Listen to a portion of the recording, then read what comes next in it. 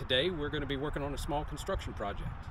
This little area right here is uh, what we're going to hope to grow over our structure and provide the chickens with some extra shade, a little predator protection. So let's uh, let's go see what we're going to work with.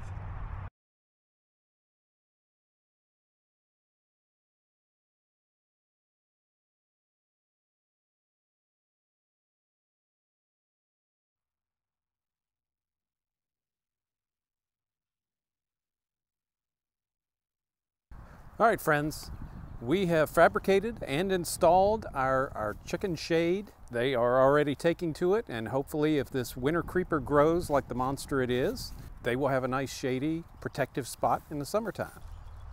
Until next time, see you later.